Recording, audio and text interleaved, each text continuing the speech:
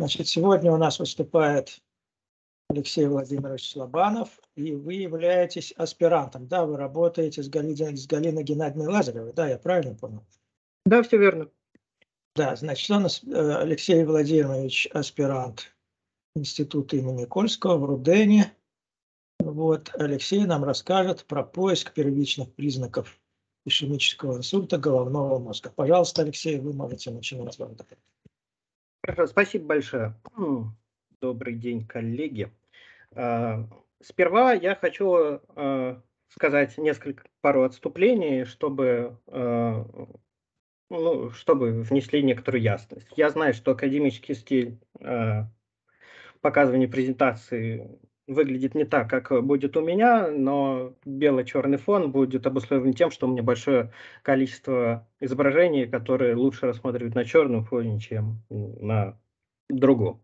Так э, будет репрезентативнее. Второе – это то, что изображения, которые вы увидите, э, срезов МСКТ головного мозга, они были получены мной программным способом, а не взяты из специализированных средств, которым, допустим, пользуются медики. Вот. Э, у них может быть чуть-чуть по-другому. Вот. Но это и в качестве некоторого предисловия, чтобы уже перейти к конкретной задаче. А, так как а, я это... Угу. А, там кто-то ожидает подключения. Вот. А, соответственно, в в начале своего аспирантского пути я занимался совершенно другой задачей. Это была задача, связанная с тоже работой с медиками, э, гинекологами. Вот. Но э, это было очень интересно, мне вводили на операции, но в какой-то момент у нас случилось недопонимание друг с другом, они делали, как я хотел. Это стало мне наукой, как работать в междисциплинарных исследованиях. Но целый год был проведен, можно сказать, зря. И в какой-то момент э, один мой друг, товарищ моего брата, они оба тоже медики, он невролог, сказал, что Леш, есть задача, вот прям по твоей тематике. У нас э, случается такая стандартная ситуация, сейчас я ее опишу. Э, когда э, привозят э, пациента в 4 часа ночи, э, ясно, что у него значит, проблемы в голове, непонятно, что конкретно. Вот мы берем, делаем вот эти снимки МСКТ, э, смотрим на них, э, видим некоторую картину. Давайте посмотрим примерно на какую картину мы увидим. Вот я сейчас, ага, переключилась, сейчас. И мы должны сделать по этой картине некоторые выводы для того, чтобы впоследствии принимать э, некоторую терапию. Если мы посмотрим, как мы э, не совсем э, эксперты в данном деле, то на левом изображении мы, для нас вроде как становится очевидно, что какие-то проблемы у нас есть в мозгу, потому что у нас появилось это пятно, и оно как-то очень странным, неожиданным образом проявилось. Такие случаи для ну, врача, понятно, что он сразу знает, что делать, как поступать. Но вот посмотрим на правое изображение правое изображение, оно э, для неэксперта, для меня, оно, когда я просматривал их, ну, я ничего особенного не заметил. Это связано с тем, что первичные признаки ишемического инсульта головного мозга на изображениях проявляются слабыми потемнениями в области э, коры головного мозга, которые могут быть не совсем очевидны. А скажите, стороны. простите, скажите, да. пожалуйста, вот эта яркая белая точка на правом э, изображении, она чему-то соответствует или что это такое? Это так называемая область базальных ядер. Там довольно-таки э, плотные структуры, и в результате не, э, моей фильтрации, так как изображения были получены э, моим программным путем, они э, здесь превратились в абсолютно белый цвет. Скорее нужно верить э, симметричному ему, надеюсь, мышь видно, с левой стороны, они будут просто очень плотными, но ввиду фильтрации они были заменены белым цветом. Эти Понятно. области, кстати, э, если что, не интересуют нас как исследователей. Вот. Да, но, а, на, простите, но на, ле, на, на левом изображении они не появляются. То есть это от чего это зависит? Это просто некие случайные факторы или это зависит от анатомия того, как, как головного... вы обрабатываете? Да? да, анатомия головного мозга, она послойно различается. Можно сказать, что здесь мы видим более э, э, слой, который более приближен к макушке, а здесь э, более слой, который более приближен к носу справа. И, соответственно, вот этот крест, который образуется, вот он, чем ниже мы смотрим на слой, тем он больше преобразуется в то, что справа. А вот всякие такие и слева, и справа есть такие черные, ну не знаю, как назвать, каналы, что ли, каналы, что ли, такие. А, вот. Это чему-то соответствует? Это что, кровеносные сосуды или что это? Это есть не что иное, как борозды головного мозга. Чем более старый человек, тем они более откровенно выглядят, э, более вот так вот. Э, ну вот слева мозг более старого человека.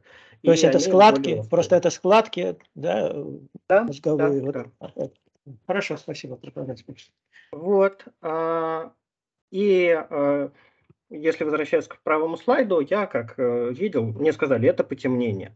Я сразу замечал много областей. Мы можем выделить вот эти области и сказать, что вдруг там какая-то проблема. Мы можем выделить эти области, и это какая-то неожиданная область. И везде здесь видим потенциал для нашей аномалии. В дальнейшем я, чтобы сокращать э, первичные признаки ишемического инсульта головного мозга, буду говорить аномалии. А, но все равно непонятно. Кстати, здесь просматривается вот такая более белая структура. Заранее скажу, что если что, это рубец от предыдущего инсульта. Ну, как, чтобы вот чуть-чуть привыкнуть к подобному разговору. В общем, а, в таком случае, как в случае справа, не всегда совсем очевидна локализация нашего поражения. Сейчас попытаюсь снова сдвинуть слайд. Как поступают медики в таком случае? Они смотрят на эти срезы слои и считают некоторую шкалу Аспекс. Как она устроена, эта шкала? Мозг визуально, анатомически делится на 10 частей, и в начале ставится десятка. 10 это означает, что с мозгом все хорошо. Если в каком-то области, допустим, на данном изображении, я взял случайное изображение, я не совсем привязываюсь еще к этой шкале, вот, допустим, М4 справа у нас обнаружено поражение. Из этой шкалы вычитается единица, о, из этого значения вычитается единица, то есть тогда будет 9. Если нет, но, закон... Простите, нет, но простите, mm-hmm. ведь проблема как раз в том, чтобы понять, есть там поражение или нету. То есть вот все эти слабые оттенки серого, и вот как вы показали на предыдущем слайде на правой картинке, вы сказали не очевидно. То, то есть, я так понимаю, именно в этом и вопрос есть ли там поражение или нет. Все верно. Я имел в виду, что сама шкала Aspects в дальнейшем пока рассматриваться мной не будет, то есть под, подгонки методов, чтобы моя программа рассчитала все э, правильно и дала оценку этим поражениям. Сейчас э, в дальнейшем я буду говорить о локализации, о вычленении, но чтобы вы понимали, как э, в финальном случае стоит задача, это то, что эм, высчитывается результат э, этой шкалы. Один специалист, ввиду того, что здесь слабые признаки, может увидеть, что поражена одна область, а другой скажет, что две области. И в данных пограничных случаях, ввиду того, что от э, этой оценки зависят следующие препараты, которые вводятся, которые могут привести к некоторым последствиям, возможно, тяжелым последствиям, требовалось им получить некоторое третье алгоритмически воспроизводимое мнение, которое бы добавляло им уверенности при принятии решения. Вот. А задача ставилась в том, чтобы локализовать эту зону и посчитать шкалу аспектов. Пока что мы говорим, что я не научился разделять мозг на эти зоны, пока мы локализируем, что тоже интересно и важно. Данные. Данные, с которыми мне приходится работать. Э, возможно, те, кто работал с медицинскими данными, знают, что они хранятся в некотором международном стандартном формате. DICOM, который ну, э, читается и записывается, вот все данные медицинские одинаково. Для программистов э, они выглядят как некоторые словари с разными пунктами. Один срез МСКТ головного мозга выглядит как матрица, заполненная числами, и я тут же получив эти данные, у меня было всего 8 пациентов, начал их отрисовывать и получил то, что выглядит снизу. Дело оказалось в чем, что диапазоны, с которыми, э, которые, чись, значения, которые расположены в этих матрицах, примерно от 0 до 3000. Как работает алгоритм преобразования значений в картинку? Он сопоставляет минимальное значение э, в матрице значений к нулю, максимальное сопоставляет с 255, это кодирование пикселя, от 0 до 255, так вот, числа, э, так вот у нас отображаются цвета. И, соответственно, если применить это грубым образом, мы получим такие изображения. А, и поэтому появилась задача привести данные к нормальному виду. Вот, э, я здесь даже записал, что данные DICOM. Если что, вы можете посмотреть в свободно распространяемом программном обеспечении, как выглядит а, ну, вот эти... И с, как э, работают условно эти распознавания вот этих э, изображений. Есть два сценария. Один сценарий для твердых тканей, ну, кости, перелом ноги. Второй для мягких тканей, ну, вот наш мозг. И диапазоны значений, которые выбираются для того, чтобы визуализировать, а я говорил, что диапазон там широкий, а нам нужно просмотреть именно конкретные пиксели со значениями довольно конкретными. Они различаются для костей и для мягких тканей. И тогда мне пришлось подбирать алгоритм для того, чтобы а, превратить из левой картинки в правую. Для этого я произвел э, некоторый набор экспериментов. Я э, разложил э, для изображений мозга частоты встреч уникальных пикселей. Uh, у меня получился вот такой вот график. Это усредненный график для вот среднего бассейна головного мозга.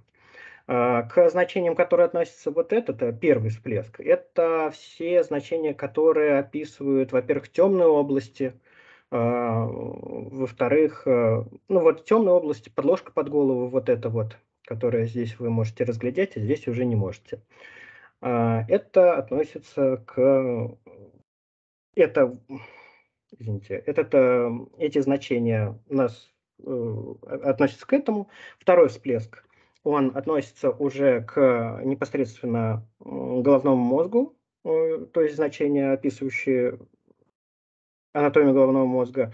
И первый всплеск отвечает за мягкие ткани, то есть если мы отрисуем исключительно пиксели в этом диапазоне, будут мягкие ткани, а все, что правее, оно относится уже к твердым тканям, там более хрящи, кости мозга и вот эта вот прекрасная рамка, э, которая остается после Э, визуализации данных. Это рамка, куда помещается голова для последующего то есть ну, правильно, правильно ли я понимаю, что вопрос сейчас заключается в том, что нужно выделить диапазон значений, вот вы сказали, там меняется от 0 до да, 3000 да. Э, в некоторой, по-видимому, нормализованной шкале. Вопрос в том, и вот это то, что мы видим на оси абсцисс, э, вопрос в том, что нужно выделить какой-то подинтервал этих значений, который соответствует именно, ну, к примеру, если мы изучаем головной мозг, вот тем значениям, которые э, соответствуют ткани головного мозга, правильно?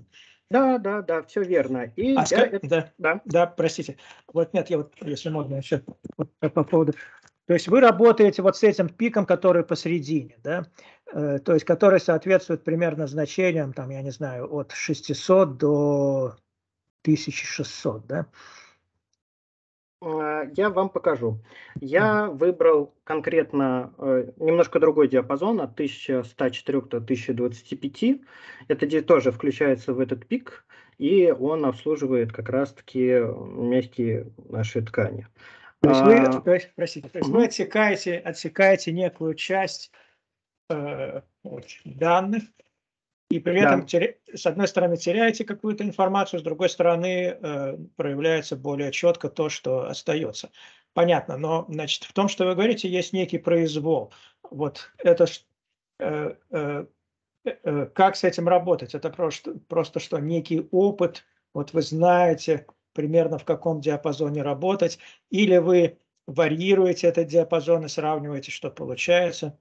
Не, На данном не... этапе я говорю, что это действительно произвол, действительно я выбирал это, соответственно, этот диапазон по э, методом подгонки, сопоставляя это с стандартными способами э, реализации ну, то, что у меня, короче говоря, картина воспроизводилась, и она была похожа на то, как воспроизводится в э, правильных программах. Э, впоследствии эта проблема, конечно же, подбор вот именно этого диапазона у меня тоже стоит как задача, она пока не решена, какая-то оптимизация будет производиться, но в данный момент э, считается, что такой диапазон просто адекватен реальным данным. Хорошо, Еще... спасибо. Угу. Вот. Да-да, э, продолжать. Да, соответственно, здесь можно увидеть формулу преобразования. Я даже график нарисовал. Э, ну и суть проста, что этот диапазон, он э, превращает значение из этого диапазона к диапазону 0,255. Вот с помощью таких хитрых коэффициентов. Все значения, которые оказались ниже, они зануляются то есть они отрисовываются, становится черный цвет. Все значения, которые выше, у меня оказывается, э, им э, дается 255, и они выделяются как белый цвет. Э, вот как выглядит эта картина. Вот справа вы видите, что у нас появляется как раз-таки то, что вы подмечали в районе базальных ядер белые образования – нас они не интересуют. Очень хорошо, что повезло. Следующим этапом для моей фильтрации э, того, что есть, э, было то, что я отказывался от значений выше 255. Э, расскажу вообще идеологию, в которой я тогда работал. Когда я только получил задачу, я думал, что эта задача сведется к стандартному способу э, работы с, работы с нейронными сетями. А, нужно будет просто как-нибудь э, локализовать э, проблему, сделать большой датасет, выбрать какую-нибудь архитектуру нейронной сети, загрузить туда, учить две недели, и потом она сама будет выделяться. Но я понимал, что если давать э, вот такие изображения, которые вы уже с которыми познакомились, то будет довольно трудно машине ввиду очень слабые разница между значениями пикселей э, разбираться в этих самых... Э, ну, для, для машины это будет тяжелая задача, нужно ей облегчить ее. Поэтому я вот производил в этой идеологии те действия, которые сейчас увидите. Соответственно, я отказался от твердых тканей, потому что они мне не интересны. Вот самые яркие, они не влияют на анатомию, э, на рисунок анатомии самого головного мозга. Таким образом, у нас э, почти порезалась рамка, таким образом у нас э, кости черепные э, и, возможно, с хрящами тоже убрались, и осталась исключительно вот эта анатомия. Следующим э, фактором было то, что я хотел сделать, увеличить плотность. Дело в том, что, как видите, здесь большая зернистость наблюдается в Э, на этом снимке белые черные точки очень так ребят. Э, чтобы э, избавиться от этого, нужно было применить какую-нибудь фильтрацию по типу размытия или так называемый денозинг, то есть избавление от шума. Но сравнивая разные методы, подбирая разные коэффициенты и ввиду, это как бы я говорю, что у меня субъективно выбран э, этот метод, был выбран метод сглаживания с помощью медианного размытия. Чтобы вы понимали, медианное размытие выглядит просто. Э, вы ходите квадратом 3 на 3 по, э, э, к, по нашему изображению. И для каждого пикселя в центре вы заменяете его значением, равное медианному значению всех его соседей у вас э, у каждого пикселя 9 значений по, по соседству, вы выбираете медианное значение. Таким образом, э, мы, я сейчас покажу, как выглядит результат. А, вот было, вот стало. Чуть-чуть с зашумленностью поборолись, э, участки стали менее зашумленными. Вот. Мы таким образом избавились от некоторых артефактов, которые остались от предыдущих частей. Э, и вот э, такой вот этап произведен был. Следующим этапом нужно было... А можно здесь вопрос сразу? Да. А, вот э, медиана это не совсем то же, то же самое, что среднее. Да? да? Если бы здесь было усреднение, то было бы, был бы другой результат. Да, да, был бы другой результат. Но... В чем суть? Есть ли суть... принципиальная разница в данном Здесь... случае? Потому что, да. Извините, я, да, перебиваю. Э, почему в некоторых примен... задачах принципиально брать медиану, а не среднее. А здесь это принципиально или нет? А здесь выбиралось это будет видно чуть позже, э, гораздо лучше, но э, скажу, хочу сказать следующее. Участки, которые у нас отвечают за поражение, они темные. Участки, которые отвечают за нормальную ткань, они светлые. Они зернистым способом были, э, ну, они зернистым способом у нас показываются на экране. И, соответственно, чем более плотно стоят точки одного примерно цвета, тем э, более у нас э, после применения медианного размытия вот, они останутся вместе. То есть э, темные области будут после применения медианного размытия более плотными, а светлые области станут более плотными, уже в географическом смысле чтобы и таким образом они э, сильнее формируются. Если же мы заменим это все на э, усреднение, то тогда мы, по сути, э, у меня было изображение 512 на 512, если мы будем усреднять по квадрату 2 на 2, представим такую ситуацию, то мы просто порежем качество изображений, не сохранив анатомию. Вот. Mm-hmm. Вот ну, из таких соображений. Дальше mm-hmm. я решил действовать Дальше.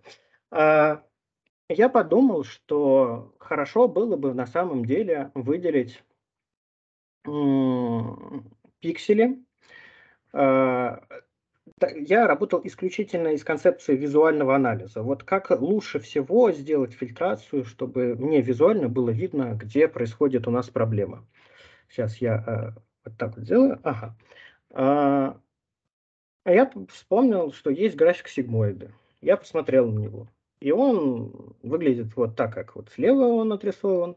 Около минус 6 можно применять, э, принимать, что дальше уже он зануляется. Около 6 можно принять, что он равен единице функция это. И она вот используется очень часто везде, как вот такой вот э, везде используется. Что я решил сделать? Я решил применить э, функцию сигмоиды для фильтрации значений пикселей моего изображения. Мои пиксели а, зажаты в рамках от 0 до 256. Я хочу, чтобы в результате выполнения моей функции светлые пиксели остались на месте, а темные пиксели они э, стали бы еще темнее. Вот такая вот схема. Выражается это вот такой вот формулой, она не очень красивая, но а, что есть. Давайте посмотрим на результат применения этой функции. Вот он. Теперь вы сами можете визуально убедиться, что то, что было темным, стало более темным, и э, даже сами локализовать, предположить, э, где находится э, проблемный участок. А, конечно же, вместе мы можем разделить темные пиксели на две категории. Хорошие – это означает, что они темные исключительно из анатомии головного мозга, и они должны быть так. Например, к этим пикселям относятся э, потемнение около э, базальных ядер. Там действительно э, эта картина у нас всегда э, анатомическая особенность, там всегда темные пиксели, э, темные значения. А некоторые ведут себя аномально, потому что симметрия не просматривается. Ну, я, естественно, говорю про эту область. В этой области действительно специалисты, и мы можем уби- э, усмотреть, что проявляется некоторая аномалия, которая в действительности является первичными признаками э, ишемии головного мозга, э, ишемического инсульта головного мозга. Прошу прощения. А вот что я получил. Я решил действовать дальше к этому моменту я уже понимал, что для моего привычного способа решения подобных задач у меня не хватает данных, как всегда в медицинских задачах. И, соответственно, следующим этапом... А, вот, еще примеры э, того, что я делал. Вот видите слева-справа, это то, что вы только что видели. Вот еще один головной мозг, вот еще одно потемнение – а, еще пример. А, вот он. А, вот здесь вот. Я это демонстрирую исключительно, чтобы показать вам, как сначала не было видно, а потом стало видно. Эти же примерно картины, которые генерирую я сам, видят и в программах, э, которые, с помощью которых медики просматривают данные изображения. Раз, раз, вот, вот. Здесь видите, как большое, очень большое поражение. А дальше я поступил, опять же, не самым красивым способом. Я выделил диапазон, который я буду просматривать. Диапазон 10-30. То есть это я оставляю из картинки, которая была слева, а, пиксели со значениями а, в этом диапазоне, а все остальные зануляю. В результате чего появляется вот такая вот а, картина. На которой еще более становятся очевидным места, где проявляются а, признаки а, аномалии. И в этот момент э, я решил, что надо все еще не начинать искать нейросети, обучать ее, а еще больше дать данных для того, чтобы она работала. Можно здесь спросить? Да, давайте. У вас на левой картинке признаки инсульта мы видим как затемнение, а на правой как наоборот. Да, я сейчас объясню, в чем дело. Э, дело в том, что когда я отрисовываю изображения, я их отрисовываю с помощью методов питоне, и они, э, когда а, отображают матрицу, вот как я уже говорил, самые темные участки, они выделяют э, нулями, обозначают нулями. Самые яркие участки они выделяют 255, э, и вот этот диапазон 10-30 был выделен в то, что получилось справа. То есть он раздутый. Вот. Понятно, да? Поэтому то, что Но было... все равно тогда то, что было темнее, оно и должно остаться темнее. Или, или вы просто отрезали что-то. А, вы просто отрезали светлые участки. Да, я просто половины. отрезал светлую часть, я... а то, что было темным, стало светлым. Контраст. Хорошо. Да. да. Контрастнее угу. Нет. светлым стало. А повторите еще раз. Вот вы говорите, мы отрезаем светлую часть, а с темной что происходит? она просто становится контрастней, то есть да, да, то да. было не очень темные, стали например, светлыми да. части, части стала Да, да. Это все, да? и это визуализация этого процесса. А, а вот можно я тогда еще угу. два вопроса? Вот у меня просто э, насчет этого. Значит, во-первых, вот э, первый вопрос такой. Постоянно вы говорите, что Э, несимметричные участки – это признак э, какой-то проблемы. Да? Ну, в принципе, очевидно, что вряд ли проблема будет сразу с двух сторон. Да? То есть, в принципе, получается, что отсутствие симметрии – это не критерий. Есть ли какой-то алгоритм а, поиска вот а, таких несимметрий а, вот в каком-то виде? Потому что вот в этих стандартных ну, программах а, в этих стандартных программах предоставляется набор инструментов э, для того, чтобы э, просто просматривать изображение. Я скажу, как работают медики, потом скажу, что они могли бы еще делать. Медики работают так. Они получили изображение, никаких коэффициентов, параметров не меняют. Они много раз просматривают на быстрой перемотке все эти слои, э, визуально оценивают, находят аномалии, которые они замечают глазом. Mm-hmm. Вот. Э, и после этого и аномалии они ищут зачастую как раз вот этим способом, что э, здесь у нас видно, а, а с другой стороны у нас не видно такой штуки.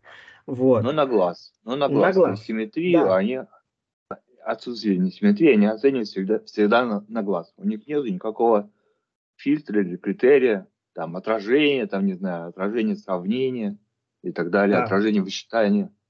Такого алгоритма нету. Да. Ага, понятно. Угу. Вот, и... и второй вопрос у меня угу. такой, вот на самом деле, вот, э, может быть, я вначале пропустил, потому что я отвлекался. Вот есть же вот эти стандартные вещи, да, которые вот вы сейчас говорите, стандартные программы.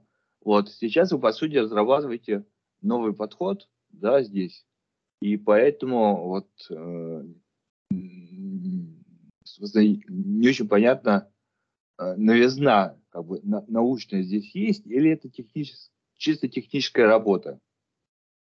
Вот что, что здесь а, принципиально математическое или вот, ну, общем, диссертабельное, если да. так грубо говорить, ну, вот, могло быть. Скажу честно. С одной стороны, э, во-первых, научных работ по такой тематике э, я обнаружить не смог.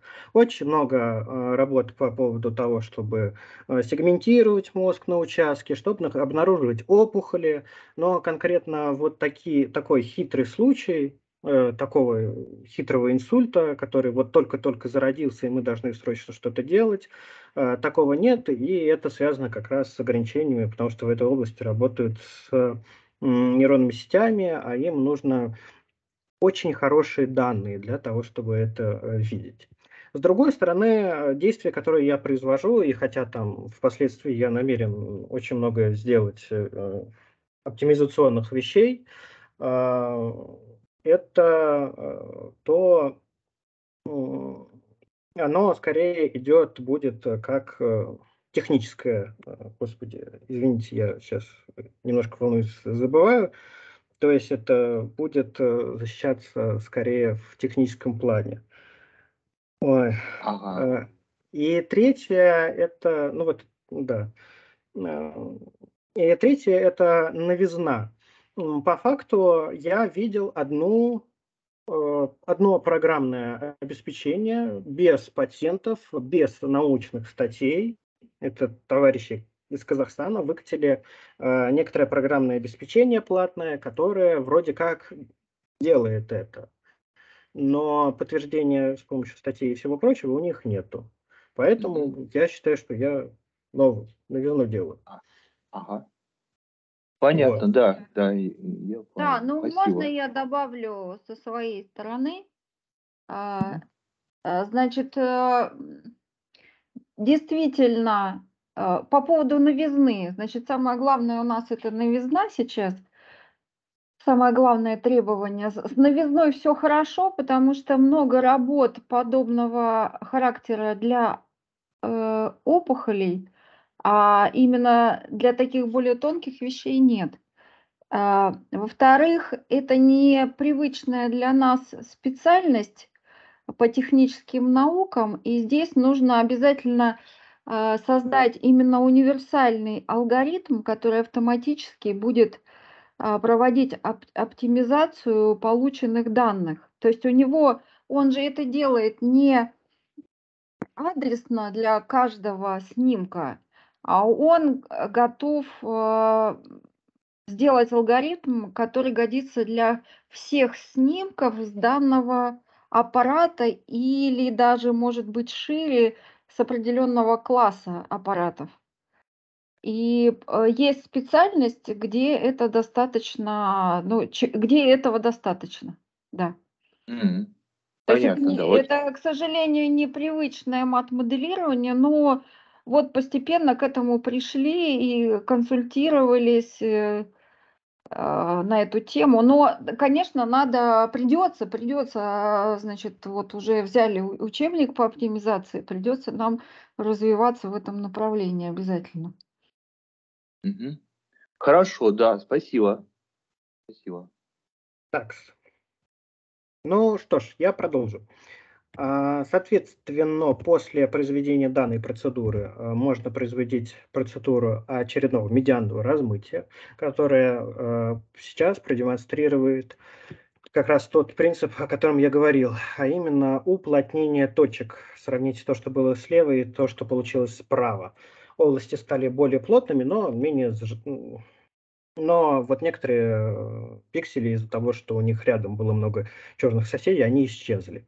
Таким образом, мне, я, вы потом увидите, зачем мне, я борюсь за эту плотность, а, но э, таким образом мне было важно поступить.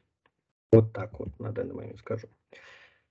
А дальше следующим этапом было применение методов кластеризации. Кластеризация – это набор методик, которые позволяют множество разделять на подмножество благодаря некоторым правилам, ну, условно, на основе плотности. В нашем случае каждый пиксель, который имеется, если он не нулевой, он имеет, во-первых, координаты x, y э, в, по матрице, а значение, которое записано, еще одно значение, это яркость пикселя, ну, чиселка. А, мы можем произвести кластеризацию и разделить это объем этих точек на отдельные группы, что еще больше усилит а, наши знания о потенциальных а, аномальных зонах. Методик кластеризации существует разное количество, но заранее бывает, некоторые из них работают, что заранее им нужно знать Э, количество э, множеств, на которые нужно разделить. Некоторые не нужны, не, некоторые не требуют этого э, ограничения. Вот давайте рассмотрим тогда вот эту таблицу. Здесь представлены различные, различные, давайте здесь поставлю, методы кластеризации, как они работают и как действуют. Сверху написано их название, а, в каждой строке представлен некоторый набор данных, некоторые множества. Для удобства они вот э, выглядят как просто набор точек на плоскости а, в разных ситуациях. Таким образом, я проанализировал, я на самом деле а, сперва даже их всех проверил просто на моих данных, чтобы они хорошо разделяли те области, которые есть. А, значит, различные данные, результаты выполнения кластеризации – это разные цвета точек, которые разделили. И сразу скажу, что у меня было два хороших, а, два метода, которые справлялись, во-первых, лучше всех. Это, посмотрите сюда, DBScan и Optics. Убедитесь в этом, посмотрев вот, например, на вот эту строку, раз, два, три, четыре, четвертую строку, они справляются очень хорошо с подобными задачами. А, а подобный разброс точек очень похож на то, что было у меня на, э, в моем случае. Э, еще один немаловажный фактор является скорость выполнения э, процедур. А, ввиду того, что если я получу в конечном счете инструмент, который все прекрасно делает за часа два, мне скажут, что ваши задачи, конечно, вы хорошо справились, но это не то, что нужно на практике. А, а это какие-то стандартные, вот, вот этот слайд, это что-то как бы со стороны? А, Или да, это, это ваш? Нет, я не рисовал эту картинку. Это действительно стандартная, очень хорошая таблица, показывающая, как э, работают различные методы. А яркость здесь тоже разная? Или а, просто Нет, или только а, геометрия? Только геометрия, э, а два, два параметра. Но можно представлять, что яркость это как некоторый объемный параметр. Ну вот в многомерном пространстве здесь просто вот два параметра. Mm-hmm. Да. Быстродействие важно, поэтому Дебускан и Optics э, справились лучше всех э, с поставленными задачами, и я в рамках них рассматривал следующий э, кусок работы. Так, сейчас я переключу слайд. А, примерно как они работают. И понятно, что здесь математики не так много, но с программистской точки зрения я хочу, чтобы вы понимали, это важные э, моменты по поводу быстродействия. А, смотрите, работают они на основе плотности, существует параметр эпсилон, который задает, какое расстояние может быть между точками одного кластера, ну, условно, единица, и минимальное количество точек в одном кластере. А, то есть, если даже кластер собрался, но он из трех точек, в данном конкретном примере, он считается как ну, некоторая аномалия, зашубленность, просто случайные данные, которые попали, мы их, и он помечает их как неправильные и не относящиеся к кластеру. Они вот, вот здесь вот. А скажите, вот э, вы сейчас здесь приводите пример, где эти кластеры ну, более или менее так визуально э, четко разделены. Э, если ситуация более сложная, и они как-то э, соприкасаются, то есть такая, э, такое облако, облако точек сложной геометрии, частично соприкасающиеся, или где плотность э, так слабо меняется. понимаете, вот если возьмете нижняя, вот как у вас такие глаза там и рот, да, вот если mm-hmm. этот рот, если есть там промежуточные точки, которые уходят туда вниз к подбородку, так что вроде какое-то соединение есть, но слабое. Понимаете, опять-таки, то есть это, видимо, зависит от того, какие критерии вы накладываете на идентификацию кластеров. Да? Вы все верно говорите, и действительно то, что вы сказали, является некоторой проблемой. А, если бы у нас э, улыбка и э, голова соединялись даже вот так очень слабо, этот алгоритм сработал и сказал, что а, они действительно относятся к одному кластеру. Это такая особенность, но неизвестно пока, как ее обойти. А, по, а, методики... ну, вы знаете, да, угу. простите, простите, я перебиваю. Я, конечно, совершенно не специалист в кластерном анализе, но мне вся кажется, насколько я представляю, это огромная область, в которой очень много наработок. Когда-то немного я работал с этим делом тоже для, ну, для совершенно других задач. В общем, тоже я бы порекомендовал вам посмотреть литературу на эту тему. Например, вот э, когда люди обрабатывают данные с э, проточной цифрометрии, извините, вот там тоже эта задача возникает. Да, ну как раз я не хотел углубляться в это, как раз таки вот когда мы занимались диагностикой лейкемии, э, вот цитометрии в потоке, да, там вот, ну, короче говоря, в биологических задачах это очень часто возникают такие вопросы, есть это называется э, облако точек, ну, по крайней мере, так в англоязычной литературе. Вот, и вот как, и там действительно сложные геометрии этих точек, и они не полностью разделены между собой, понимаете, в чем дело? И это главная сложность, потому когда они так частично пересекаются. Вот как, как выявить вот эти разные кластеры, если нет четкого разделения между ними. А именно это важно, потому что, потому что э, вот эти кластеры, ну вот в тех задачах, о которых мы говорим, цитометрия, цитометрия в потоке, они, они действительно пересекаются, но разные подобласти э, соответствуют разным клеткам. И вот важно их уметь, вот эти разные пересекающиеся подобласти выявить. И такие методы есть. Так что, опять-таки, ну, хорошо, не будем повторяться. Продолжайте, пожалуйста. Да, хорошо. А, по поводу данного комментария хочу сказать следующее. Действительно, у меня в моем плане действий и задач, которые я решаю, также подбора дополнительных э, хороших методов кластеризации, я уже нашел, просто в них тяжело иногда разбираться, там коэффициентов, может быть, которые изначально заданы очень много. Но вместе с тем хочу подметить один момент. Э, те примеры, которые мы только что видели, они были завязаны на двух э, координатах, x и y. А у нас есть координаты цвета. И вполне себе в примерах, э, я надеюсь, я смогу вам там, продемонстрировать, успею продемонстрировать, что могут выделяться кластеры разных интенсивностей цветов и это уже тоже хорошее разделение или подгон под общий э, сам. А, на самом деле, еще вдобавок скажу, что как раз-таки тот метод, который я попытаюсь улучшить э, текущую кластеризацию, заключен в том, что эпсилон подбирается в данном случае очень строго, а я буду пытаться работать с методиками, которые меняют этот эпсилон в зависимости от ситуации. Проблема лишь в том, чтобы это быстро считалось. Продолжаю. А, результаты применения кластеризации. А, слева у меня результат применения алгоритма OPSIX, справа DBSCAN, вот исходное изображение. А, разными цветами обозначаются разные кластеры. Отмечу единственное, что если в OPSIX примерно все понятно, цветом различается, то здесь есть некоторая градация синего, от которой я попытался избавиться в будущем, но на данных слайдах оно выглядит так что вот этот кластер и этот кластер, они примерно цветом похожи, но на самом деле это отдельный кластер. Зато можно увидеть некоторую картину, э, и каждый из этих кластеров мы можем на данный момент называть потенциальным признаком аномальной зоны. Вот еще пример. Ага, а, вот, вот еще пример. Вот пример, который я бы хотел продемонстрировать, чтобы понимать еще одну проблематику того, с чем я сталкиваюсь. Пациент, который э, лежит у нас, э, он может лежать, не только дергаться, ну тогда мы можем сказать, что снимок неправильный, но и положить голову не совсем ровно.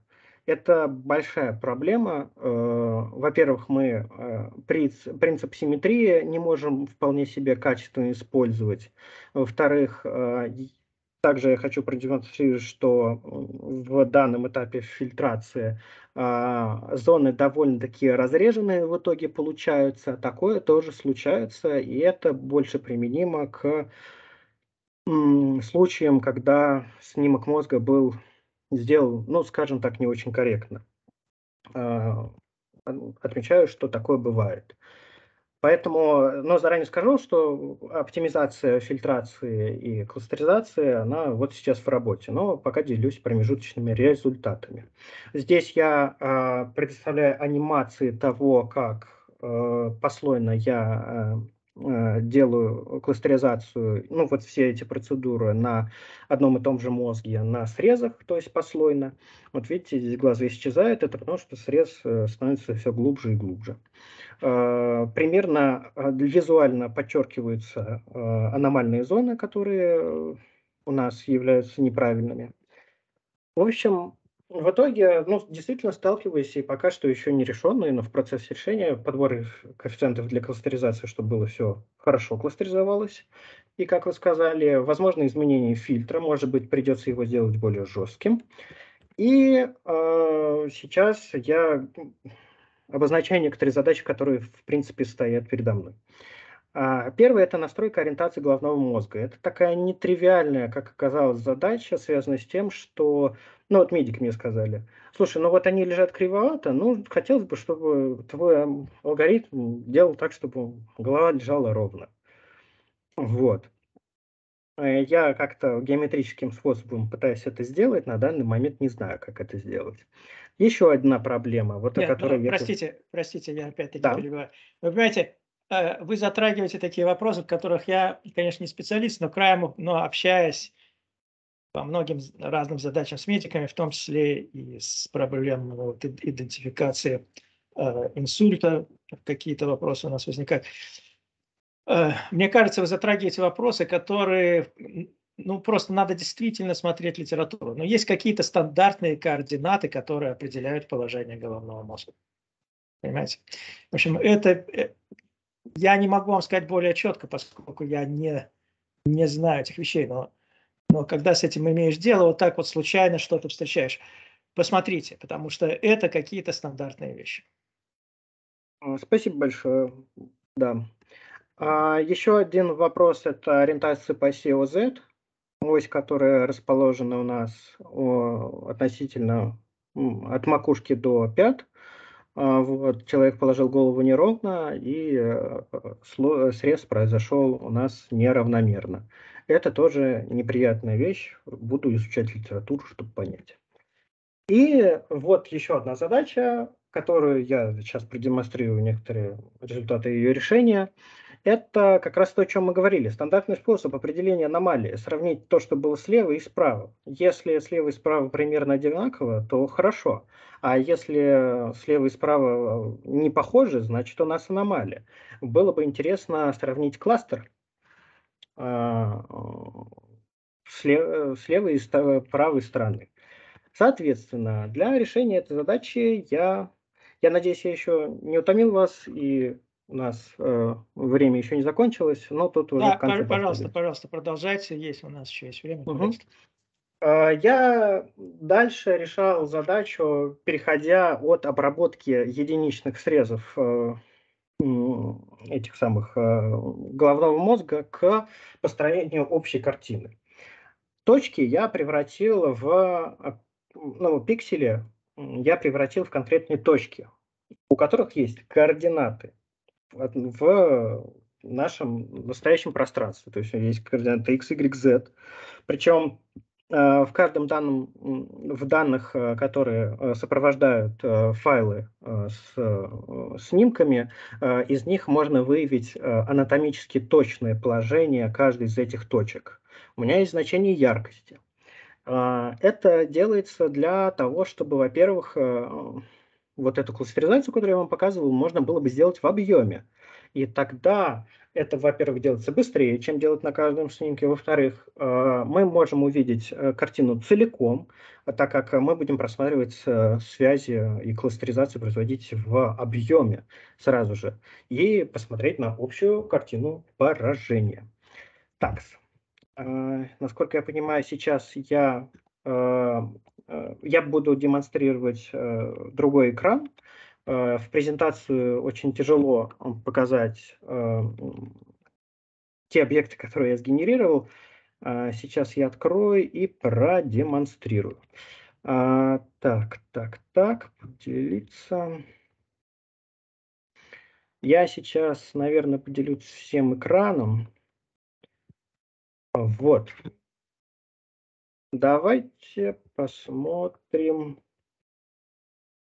Очень-очень неприятно. Сейчас э, решу эту маленькую заминку. Ну хорошо, давайте на эту.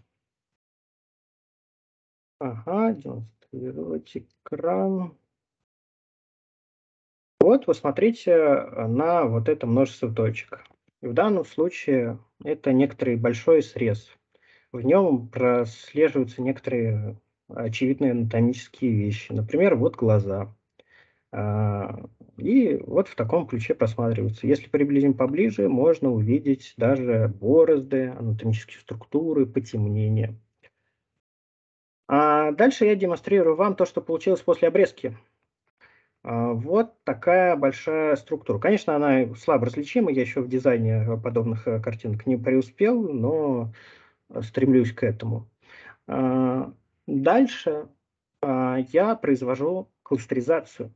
И вот посмотрите на результат. Каждый отдельный, э, я делал их намеренно вот такими мультяшными э, разноцветными, чтобы была э, видна разница между, ну, соседние э, кластеры были бы различных цветов. Здесь просматривается то, что некоторые кластеры сидят довольно близко, могут иногда в таком а, разрешении, вот, не знаю, желтый-зеленый, а, желтый-фиолетовый, они могут быть даже находиться совсем близко или эти облака пересекаться, но ввиду различных цветов, которые использовались, они будут относиться, относиться к разным кластерам.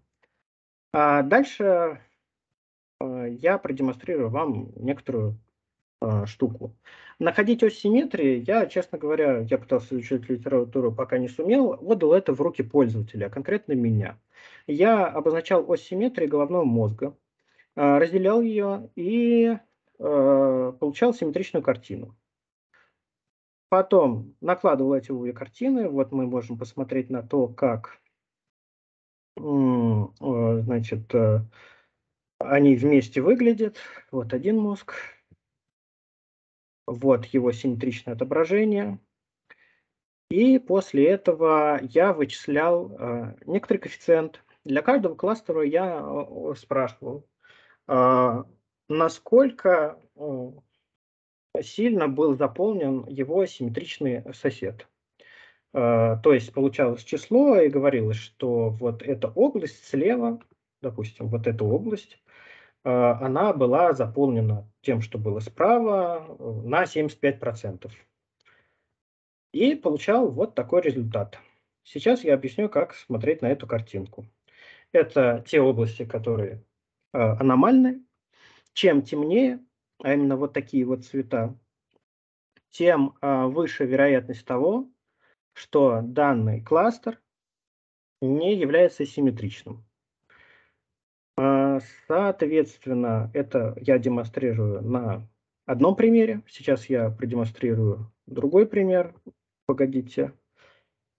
А, более показательный. Так, сейчас.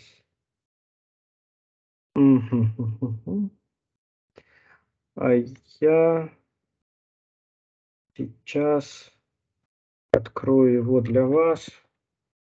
Один момент.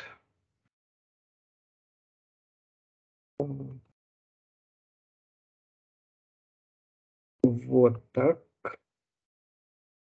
Вот. Э, возвращаюсь к демонстрации экрана. Вот он. А вот посмотрите на этот пример. А, соответственно, более темные области говорят о том, что а, кластер, э, этот кластер считается несимметричным. Более светлые, а, чем более светлее, тем более он симметричный. Таким образом, э, если говорить о непосредственной анатомии э, головного мозга, можно выделить следующие элементы. Во-первых, вот эта область поражения, которая выглядит очевидно, она выделяется, она действительно подчеркивается своей несимметричностью, получается высокий коэффициент, ой, низкий коэффициент поглощения э, симметричным объектом. Вот эти области, которые около базальных ядер, они вполне себе пересекаются, и появляется огромное число мелких э, точек, которые действительно несимметричны, но с ними бороться можно. Э, пока что я борюсь лишь тем, что я задаю порог, порог для этих э, э значений, что мы не рассматриваем кластеры, которые стоят меньше, чем, чем 100 точек. Соответственно, вот такую работу я проделал. Я, наверное, мог бы рассказать об этом красивее и лучше, но у меня не открылся один файл. А, в дальнейшем а, будет производиться работа, связанная с тем, чтобы а, оптимизировать некоторые элементы нашего э, всего алгоритма от фильтрации, кластеризации, а, и в конце концов, э, потом, получая вот эту симметричность, может, я буду рассматривать уже модели для того, чтобы, подавая конкретно вот такие данные, уже очень сильно анализированные, нейросеть могла бы определять э, области потенциального поражения. Вот так вот. Хотелось бы услышать комментарии, желания. Советы. Ну что ж, да, большое спасибо, Алексей, за интересный доклад. Вы хорошо подготовили и такие красивые картинки, и проблемы, конечно, очень важные и интересные. Вот. Ну, конечно, э, да, и в процессе вашего доклада мы задавали разные вопросы. Э, я хотел сделать пару небольших комментариев, прежде чем предоставлю слово другим коллегам, если у них есть вопросы тоже.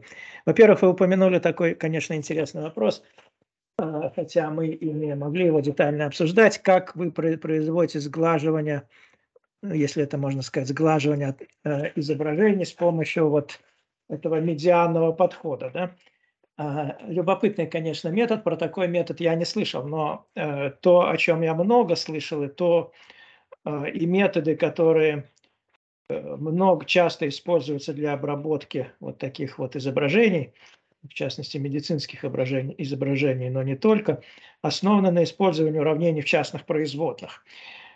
Э, ну, вполне возможно, вы этого не знаете, но это такая действительно очень большая область и в математических исследованиях, и в прикладных исследованиях.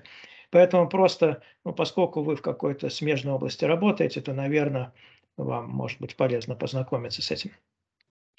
А, вы понимаете, о чем идет речь или не очень? Ну, конкретно эти методики я, честно говоря, себе не представляю. Я в двух э, словах скажу вообще, о чем, угу. о, о чем идет речь. Вот представьте себе ну, самое простое уравнение диффузии. Да? Понятно, да, что такое Представил. хотя на самом деле работают не с уравнением диффузии, а с более сложными уравнениями. Но в качестве примера просто возьмем уравнение диффузии.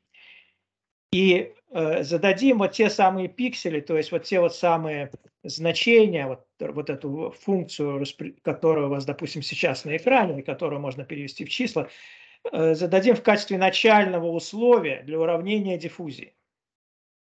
Понятно я выражаюсь? Ну, допустим, я записываю. И, а, вот. Значит, у вас есть уравнение, у вас есть начальное условие. Вы можете решить это уравнение с таким начальным условием. И вот это вот решение, а известно, что параболические уравнения, они обладают свойством сглаживания. Вот. И вот берется решение этого уравнения с таким начальным условием при каком-то значении времени, и вот это рассматривается в виде вот такого сглаженного э, изображения. Понятно то, что я говорю? Мне Да, я очень понятно. Да, мы обязательно этот вопрос изучим, потому что, ну, мне, например, это При этом, да, Гали- Галина Геннадьевна, при этом, при этом, ну, я сказал про уравнение диффузии, но на Да, самом да, деле я поняла. рассматривается не уравнение диффузии, а более сложное уравнение, нелинейные, не, как правило, нелинейные уравнения или уравнение с нелинейной как раз-таки диффузией. И дальше вот много крутится вокруг этого, изучается эффективность этих методов и так далее.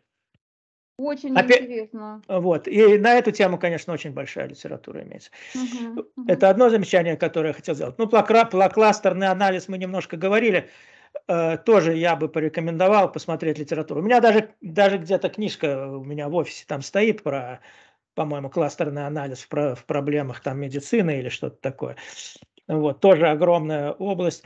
И э, там много всяких таких интересных и сложных вопросов, потому что вот тот классный анализ, который мы сейчас видели, он проводится в двумерном пространстве. Э, в задачах, про которые мы упоминали, цитометрия в потоке, этот кластерный анализ проводится э, в пространстве большой размерности, допустим, 40, да, то есть там визуально ничего сделать невозможно. Вот. Э, и тем не менее, вот такие методы разрабатываются, поскольку это необходимы для приложения. Последнее замечание, которое я хотел сделать. Ну, понимаете, вот, э, Алексей, вы начали свой доклад с того, что сказали, что вы не нашли э, в литературе применения методов машинного обучения для э, идентификации, значит, ишемического инсульта. Ну, вот в процессе вашего доклада я просто написал машин learning, э, значит, stroke, да.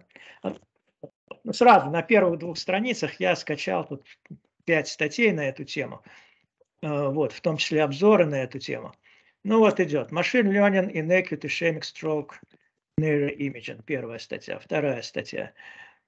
Uh, machine Learning in, Action. Stroke Diagnosis and Outcome Prediction. Ну и так далее. То есть таких работ много. Поэтому, uh, да, Machine Learning Approach to Identify Stroke первые там четыре с половиной часа, ну и так далее, масса всего.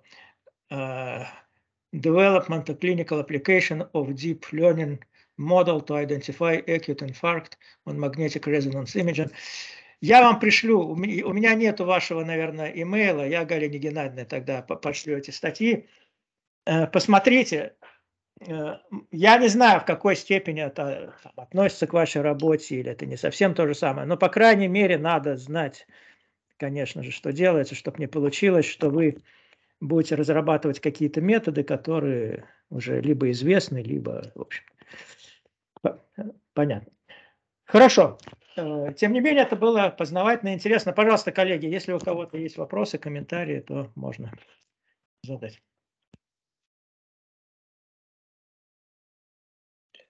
Ну, мне кажется, что мы действительно задали по ходу а, доклада много вопросов, поэтому э, я думаю, что... Хорошо. Да. Если, если других вопросов нет, комментариев, тогда, Алексей, мы тогда э, ждем вас, я не знаю когда, когда вы будете готовы в следующий раз. Расскажите нам, э, пожалуйста, вот с учетом наших обсуждений, с учетом, может быть, той литературы, которую вы посмотрите, э, вот, все-таки как те методы, которые уже развиваются, соответствуют э, тем методам, которые значит, известны в литературе. Кроме того, ну тоже это вы упомянули, но как-то это было немножечко мельком, огромная литература, конечно, имеется по идентификации э, вот, э, вот, медицинских изображений для раковых заболеваний. Очень много работ на эту тему тоже.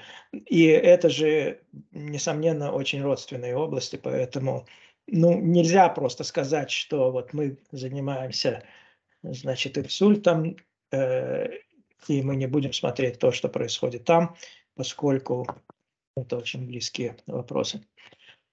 Хорошо, ладно, если других вопросов нет, тогда еще раз спасибо и ждем вас ну, через несколько месяцев.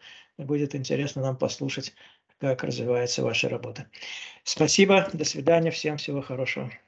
Спасибо вам большое за советы. Очень а, как раз это то, за, зачем мы к вам шли. Потому что Хоро- как раз хорошо, мы в самом, в самом начале, и, и надо определиться, как действовать дальше в этой области новой для нас. Это, это Спасибо. очень большая область, и много всего Да. связано, потому что, ну, я об этом уже не говорил, потому что это вопрос немножко подальше. Например, э, мы занимаемся тут, ну, я об этом неоднократно говорил, такой проект для изучения э, афазии. Афазия – это нарушение речи для пациентов после инсульта. Э, вот. Ну, то, с чем мы работаем, это в основном электроэнцефалограммы. Используется также вот э, такая смежная для нас область. Электроэнцефалограмма используется для диагностики инсульта тоже, понимаете, да? Не, про, не просто вот эти медики. Да, да, вот мы, мы когда разговаривали с неврологами, они как раз э, говорили, что в эту сторону они бы хотели развиваться. Ну, если бы они хотели развиваться в эту сторону, мы тоже можем об этом немножко поговорить. Тоже есть много э, данных и много статей на эту тему. Ну вот в нашем проекте непосредственно этим мы не занимаемся. Э, электроэнцефалограмма используется не для диагностики инсульта, а уже для работы. Вот это называется уже хроническая афазия, то есть после 6 месяцев, более 6 месяцев после инсульта. Э, вот, ну, там нарушение речи и так далее. Но это такие тоже смежные области, поэтому если будет желание, то можно тоже пообсуждать какие-то вопросы такие. Да, Хорошо. Спасибо, хорошо, да, да. Ладно, хорошо. А вам. Галина Геннадьевна, я пришлю сейчас несколько этих э, Да, файлов, спасибо большое. ко- Конечно, вы, скачал. вы в этой области, безусловно, Э, Нет, в давно. идентификации, нет, в Да. идентификации, в идентификации медицинских изображений я как раз этим никогда не занимался, но просто по Близкие необходимости иногда, да. иногда как-то с этим что-то Мгм. слышно, так краем. А это я просто сейчас поискал на интернете несколько статей. Ну хорошо, ладно, Мгм. всего хорошего, всем до свидания. Хорошо, До свидания. Спасибо большое. До свидания. Спасибо, до свидания.